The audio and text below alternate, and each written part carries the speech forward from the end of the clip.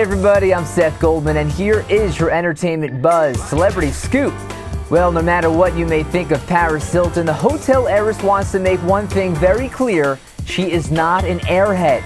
Hilton told Heat magazine the blonde bimbo persona we all saw on The Simple Life, for example, was just a character she was playing and in reality is pretty serious and shy.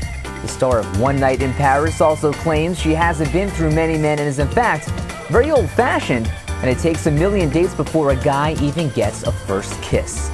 Well, some might say Shia LaBeouf made a pretty airheady move when he was busted on suspicion of a DUI following a July car crash. Police say the actor is now having his driver's license suspended for at least a year because he refused a chemical test to see if he was intoxicated.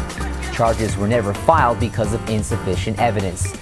And there appears to be enough evidence for Alyssa Milano to be granted a three-year restraining order against a man she claims tried to contact her and has shown up at her home. The fiance of the former Charmed star is probably just as happy she got engaged to Hollywood agent David Bugliari last month. And if you want more buzz on your cell phone, check with your carrier on how to get NBC Mobile if you don't already have video on your phone. And for daily entertainment headlines to your mobile, just text BUZZ right now to 46833 and standard text rates apply for that. All right, so that is your entertainment buzz celebrity scoop. I'm Seth Goldman for NBC Mobile in New York.